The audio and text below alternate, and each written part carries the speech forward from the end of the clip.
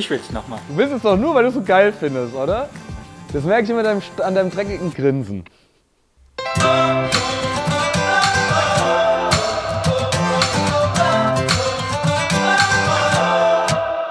Hey, mein Name ist Nikolai und in diesem Video lernt ihr, wie ihr Sachen richtig einpackt, wie ihr mit dem Hubwagen umgeht und wie ihr mit dem Flightcase umzugehen habt. Oft müsst ihr bei Veranstaltungen zerbrechliche Sachen einpacken. Wie wir das machen, das zeige ich euch nun. Fangen wir an mit dem Packpapier. Es kann sein, dass ihr vor Ort auch einfach normales Zeitungspapier oder anderes Papier findet. Ihr nehmt eure Vase, nehmt euch irgendwie 1, 2, 3 Blätter des Packpapiers und wickelt diese ordentlich ein, schlagt das um, steckt das so ein bisschen rein und schon habt ihr einen Schutz für das Glas und könnt es dann in die Kiste packen. Bei der Luftpolsterfolie das gleiche.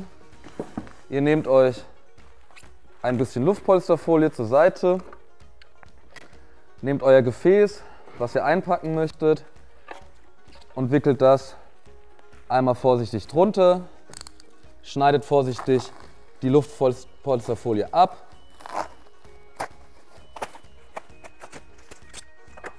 Und nun wickelt ihr das Ganze ebenso wie die Vase etwas ein. Und in dem Fall bietet sich an, klebt das Ganze ein bisschen zu, damit das nicht aufgeht. So, achtet darauf, manche Kisten sind beschriftet mit dem Inhalt der Kisten, zum Beispiel steht da drauf Kabel, dann guckt bitte, dass dort nur Kabel reinkommen. Es kann aber auch sein, dass es solche Mischkisten gibt, da kommen einfach verschiedene Dinge rein. Ganz wichtig hierbei, achtet immer darauf, dass ihr jeden Platz so gut wie möglich ausnutzt und ganz wichtig ist, guckt immer darauf, dass ihr den Deckel schließen könnt. Das heißt, es sollte nichts hier oben rausstehen, weil so könnt ihr die Kisten später nicht aufeinander stapeln. Nun haben wir das Beispiel, wie wir es nicht machen sollen. Ihr seht eben, der Karton guckt oben raus und wir hätten jetzt Probleme beim Zumachen, dass wir das richtig zubekommen, dass die Kante hier ordentlich eingehalten worden ist. Deshalb ordentlich packen, dann klappt ihr das Ganze dementsprechend den Karton zu. Ihr könnt in dem Fall hier das hier so einhaken. Und dann nehmen wir unser Tool, was ihr aus dem anderen Video schon kennt, unseren Paketabroller. Ihr geht einmal hier dran, klebt das so fest, dann hält das und dann könnt ihr schon das Ganze hochziehen. Zieht das Ganze zu euch und versucht natürlich über die offene Naht hier drüber zu kleben. Zieht das einmal hier rüber, streicht nochmal fest und schon habt ihr in euren Karton verklebt. Kennt ihr das auch? Ihr wollt ein Kabel schnell verlegen und habt hier erstmal ordentlich Kabelsalat. Das ist echt nervig und kostet jede Menge Zeit. Damit sowas nicht passiert, zeige ich euch, wie ihr ein Kabel richtig aufrollt, damit ihr so ein Kabelsalat nicht mehr vor euch liegen habt. Beim richtigen Aufrollen eines Kabels gibt es ein paar Punkte zu beachten. Ihr nehmt euch das Kabel in die eine Hand und legt euch eine Schlaufe um die Hand rum und das macht ihr genauso immer weiter. Schlaufe für Schlaufe. Achtet dabei immer darauf, dass das Kabel sich nicht verknotet.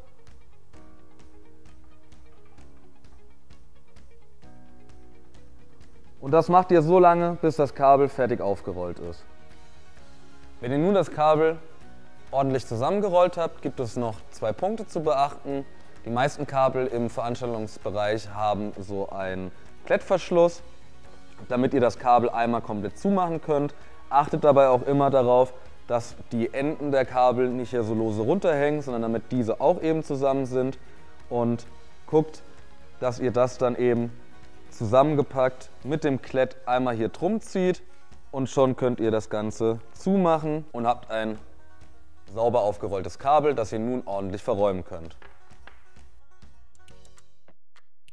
Hier haben wir einen Roller-Banner und um den aufzubauen, öffnen wir erstmal das Case und holen den Banner raus. Dann kommt euch jetzt hier so ein, eine Metallkiste entgegen und ihr habt hier hinten drin so eine Metallstange Die packt ihr erstmal raus, legt ihn zur Seite.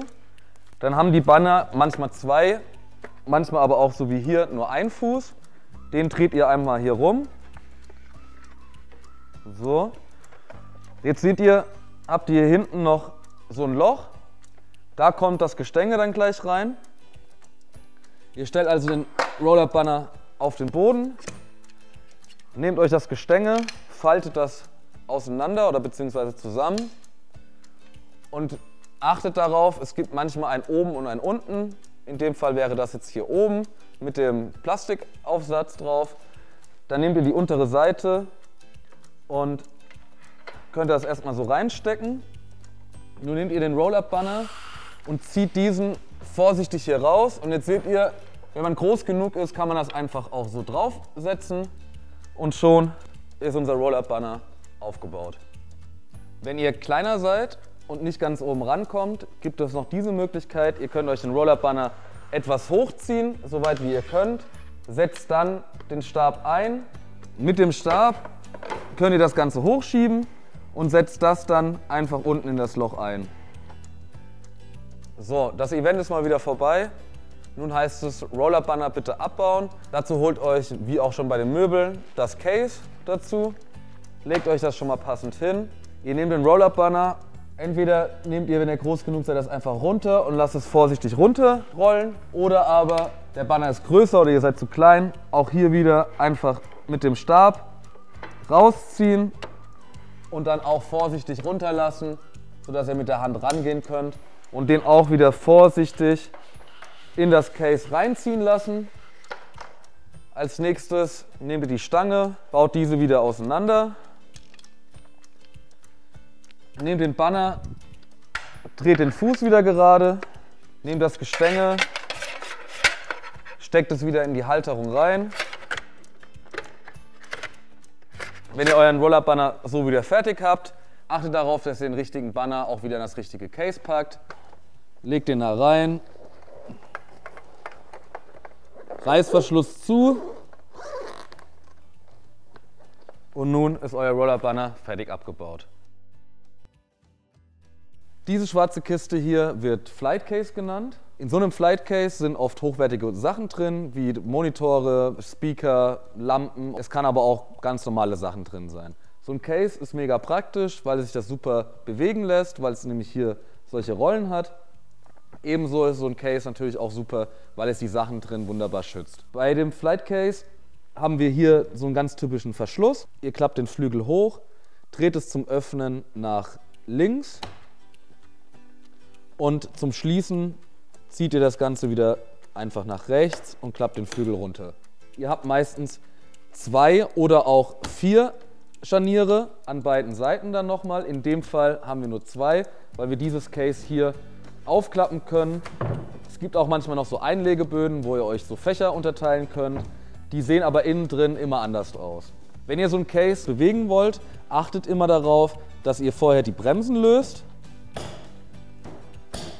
Oft ist auf dem Case obendrauf eine Beschriftung, entweder auf dem Feld hier oder auch solche Schilder. Auf den Schildern seht ihr die Position, hier zum Beispiel Stage 1, C2 und den Inhalt, was im Case drin ist. Wenn ihr das richtig gelesen habt, nehmt ihr das Case vom LKW oder von der Position, wo es steht, nehmt das Case, schiebt es dorthin, wo ihr die Markierung Stage 1 findet, parkt es dort in der Position und vergesst natürlich auch hier nicht, die Bremsen wieder anzuziehen.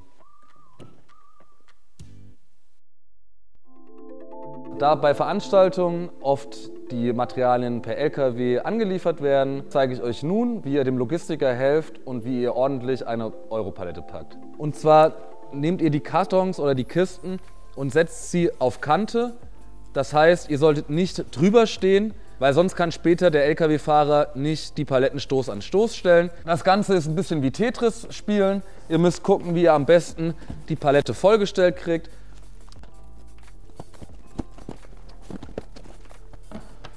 Wenn ihr eure Palette dann fertig gepackt habt, ungefähr so wie hier, dann könnt ihr anfangen, diese einzufolieren.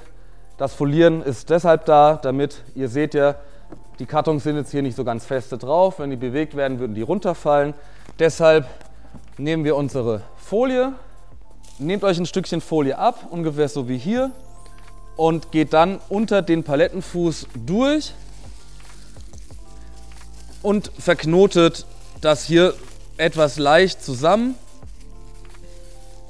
Und nun könnt ihr anfangen, das Ganze abzurollen und achtet immer ganz am Anfang, dass ihr ganz unten auch auf den Ecken drauf seid. Und nun geht ihr immer schön um die Palette rum und bei der jeder Ecke geht ihr ein bisschen auf Zug, damit das Ganze auch stabil bleibt. Nun kann sein, dass ihr auch mal schlechtes Wetter habt bei der Veranstaltung. Da empfiehlt es sich, die Palette auch oben einmal etwas zuzufolieren. Und wenn ihr damit fertig seid, könnt ihr einfach an einer Ecke das Ganze etwas stärker ziehen, bis die Folie abreißt und schon habt ihr eure Europalette prima eingewickelt. Die Palette ist nun ordentlich aufgebaut und richtig einfoliert. Nun kommen wir zu einem Teil, wie ich die Europalette bewege. Dazu nehmen wir unseren Hubwagen. Das ist unser Hubwagen, auch bekannt als Ameise oder Mule. Ihr habt hier einen Hebel, den man in drei Positionen schieben kann. Einmal nach unten, einmal in die Neutralstellung und einmal nach oben ziehen. Wenn ihr den Hebel nach unten gedrückt habt, könnt ihr anfangen, den Hubwagen durch diese Bewegung nach oben aufzupumpen. Wenn ihr fertig mit Aufpumpen seid, macht ihr den Halter in die Neutralstellung und könnt damit rumfahren. Wenn ihr an dem Ort angekommen seid und wollt die Palette ablassen, müsst ihr den Hebel nach oben ziehen und schon senkt sich der Hubwagen. Wichtig ist auch, dass ihr, wenn ihr den Hubwagen irgendwo abstellt, sei es mit Palette oder ohne Palette, dass ihr den Hubwagen in die Parkposition bringt. Dazu dreht ihr die Räder hinten einmal so rum, damit sie diagonal stehen und der Hubwagen nicht mehr nach vorne oder nach hinten rollen kann. Nachdem ihr gelernt habt, wie der Hubwagen funktioniert, geht es nun darum, wie ihr richtig mit den Paletten umgeht. Dazu nehmt ihr den Hubwagen und schiebt ihn unter die Palette, bis ihr anschlagt setzt den Hebel nach unten zum Pumpen. Habt ihr nun die Europalette hochgepumpt, setzt ihr den Schalter in die Neutralstellung und nun könnt ihr die Europalette bewegen. Es ist immer leichter, die Europalette nicht zu schieben, sondern zu ziehen. Dadurch erspart ihr euch jede Menge Kraft. Wenn ihr das Problem habt, dass eine Europalette schräg steht und ihr nicht hier reinkommt, könnt ihr auch seitlich an die eure Palette rangehen. Hier müsst ihr einfach mit etwas mehr Schmackes über die Holzbretter drüber gehen. Und wenn sie dann einmal durch ist, könnt ihr wieder anfangen, Hebel nach unten, einmal wieder nach oben pumpen, bis die Palette den Boden nicht mehr berührt. Und schon könnt ihr diese ebenso bewegen, rausziehen ich empfehle euch aber immer, zieht sie raus und geht dann wieder, wenn möglich, in die normale Position rein. Wenn ihr auf ein Event kommt und sollt Paletten abpacken, gibt es auch ein bisschen was zu beachten. In dem Fall haben wir es einfach. Wir haben hier eine durchsichtige Folie. Es kann aber auch oft sein, dass ihr eine schwarze Folie habt, also seht ihr nicht, was dahinter ist. Deshalb passt dabei auf, wenn ihr mit dem Cuttermesser an die Palette geht, dass ihr nicht direkt an den Kisten schneidet, vor allem wenn ihr nicht seht, was drin ist, sondern hebt euch das so ein bisschen ab, schneidet das so ein bisschen ein und immer ein bisschen weg von dem Material ziehen, damit ihr wunderbar schneiden könnt, ohne das Material, was unten drunter ist, zu beschädigen. Wenn ihr das einmal so offen habt, dann könnt ihr ganz leicht die Folie abziehen. Wichtig auch, macht kurz unten die Verknotung auch kurz ab, damit man beim nächsten Mal alles wieder ordentlich habt. Am besten räumt ihr den Müll immer sofort gleich weg, damit er nicht andere Leute stört. So, nun habt ihr gelernt, wie ihr richtig mit Paletten umgeht. Da Veranstaltungen oft exklusiv sind und nicht jeder Zugang haben soll, braucht man hier Zäune, die Gäste daran hindern, in gewisse Bereiche einzudringen. In diesem Fall bauen wir nun einen Bauzaun auf. Als erstes brauchen wir die Unterkonstruktion, also die Füße. Guckt immer am besten, wie der Plan ist oder das Gelände, was ihr abzustecken habt und setzt einfach erstmal die Steine grob hin. Ihr könnt euch merken, so ein Zaun ist ungefähr immer dreieinhalb Meter lang. Also eins, zwei, drei und einen halben. Und auch hier wieder einen gewissen Abstand lassen. Und so habt ihr eure Steine positioniert. Jetzt empfiehlt es sich, holt euch eine zweite Person dazu, die euch hilft, die Metallzäune zu tragen. Eine auf die eine, eine auf die andere Seite. Und nun immer darauf achten, dass ihr in die äußeren Löcher geht, damit ihr den nächsten Zaun in einem anderen Loch anschließen könnt. Also einmal reinstecken und zack, fertig. Das Ganze mit dem anderen Element auch. Erst reinstecken und gegebenenfalls den Fuß nochmal justieren. Somit steht euer Bauzaun erstmal da. Jetzt haben wir natürlich das Problem, es kann jederzeit jemand rangehen, hier aufmachen und durch den Zaun durchgehen. Dafür gibt es solche Schellen, die werden einfach an die Elemente angebracht. Einmal, zweimal. Schraubt das mit der Hand am besten ein bisschen fest. Wenn ihr die Schelle grob fixiert habt, nehmt euch ein passendes Werkzeug, einen Maulschlüssel oder in dem Fall hier eine Ratsche und mit dieser könnt ihr das Ganze einfach schön festziehen, damit auch wirklich keiner mehr das lösen kann.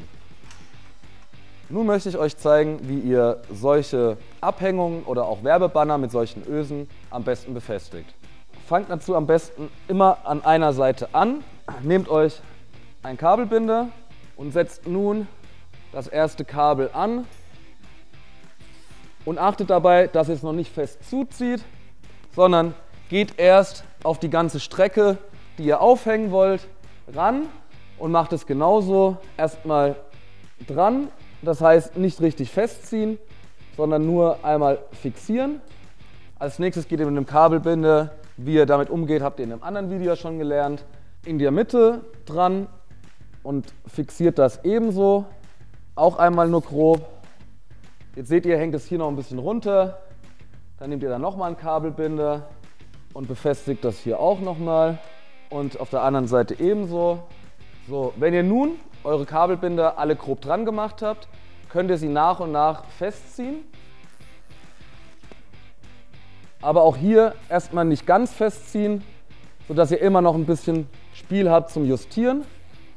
Und wenn ihr dann fertig seid, könnt ihr das Ganze richtig straff ziehen, dass es ordentlich an der Kante ist. Nun habt ihr euren Banner oder den Vorhang befestigt und nun stellt ihr fest, nachdem ihr aufgebaut habt, dass die Laschen vom Kabelbinder hier noch rausgucken. Dann nehmt ihr einfach die Zange und knipst diese an der Kante ab. Und im nächsten Schritt oder auch schon im Schritt vorher, achtet immer darauf, dass man die Verbindungsstücke nicht nach vorne sieht, sondern dreht sie immer nach hinten, damit das Ganze auch von vorne ordentlich aussieht. Beim Abmachen von so einem Vorhang oder auch beim Banner passt darauf auf, dass ihr immer, wenn ihr das abschneidet, am Kabelbinder abschneidet und nicht am Banner, sonst macht ihr nämlich den Banner kaputt und da geht ihr einfach immer entlang. So, nun habt ihr euren Banner abgenommen, Achtet auch hierbei bitte darauf, dass ihr diesen wieder ordentlich zusammenräumt. So, nun habt ihr es geschafft. Ihr seid am Ende dieses Videos angelangt. Nochmal für euch kurz zusammengefasst das Wichtigste, was ihr aus dem Video mitnehmen sollt. Zerbrechliche Dinge werden vorher eingepackt, bevor sie in den Karton kommen. Beim Kartonpacken ist es wichtig, dass ihr aufpasst, damit ihr nicht über den Karton hinauspackt, damit ihr den noch prima zubekommt und eben auch das Ganze sauber stapeln könnt. Beim Stapeln einer Palette ist wichtig zu sagen, passt darauf auf, dass ihr nicht über die Ecken geht der Palette.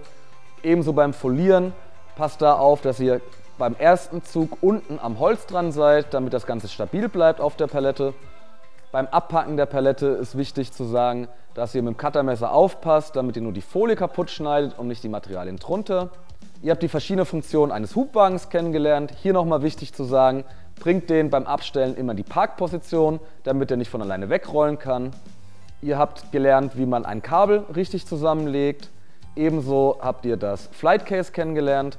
Beim Flight Case ist es wichtig, darauf zu achten, was steht oben drauf. Das heißt, was ist drin und wo ist der Bestimmungsort. Das könnt ihr auf dem Case oben ablesen und fahrt ihn dann bitte auf die Position. Und vergesst dort dann nicht die Bremsen festzustellen. Beim Bauzaun ist es wichtig, dass ihr die Schellen anbringt, damit keiner mehr den Bauzaun öffnen kann. Und ebenso habt ihr gelernt, wie man einen Banner oder einen Vorhang anbringt. Auch hier wieder solltet ihr Fragen haben oder euch noch was unklar sein, guckt euch das Video gerne nochmal an oder fragt zur Not auch gerne in der Agentur nach. Ansonsten bleibt mir nicht viel zu sagen, außer bis zum nächsten Mal und ciao. Le.